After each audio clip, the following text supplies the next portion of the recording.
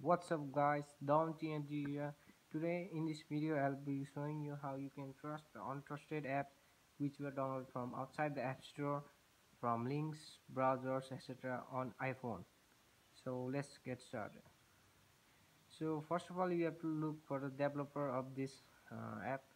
I have, I have downloaded it so I have to check for the developer of this video app. So for this let's go to settings then settings then general then go to device management. So you have to look for the developer of the, that app. I think this is that? Yes.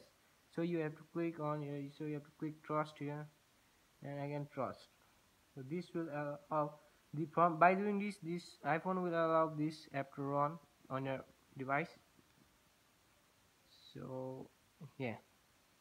It has trusted so likewise you can trust other apps games from uh, this, other links. So yes that's much. So thank you guys. Subscribe to my channel for more information videos. Peace. Out